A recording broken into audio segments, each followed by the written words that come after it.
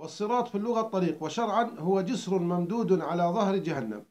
بين الموقف وبين يمر عليه من قضى الله سبحانه وتعالى أن يمر عليه. لأن في أحاديث أخرى جاءت أن إذا أدخل أهل النار النار ولم يبقى يعني في أرض المحشر إلا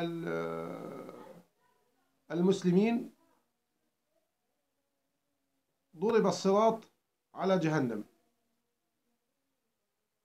طبعا يخرج العنق هذا ويلتقط أهل النفاق كما يلتقط الطير آه، حب السمسم.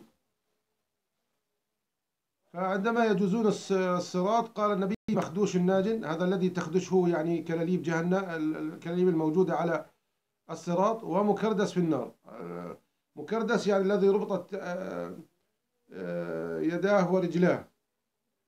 لأن الذي يعني تتخطفه هذه الكلاليب وتلقيه في جهنم كأنه يعني الآن كردس كأنه يعني ربط وثبت وألقي في جهنم.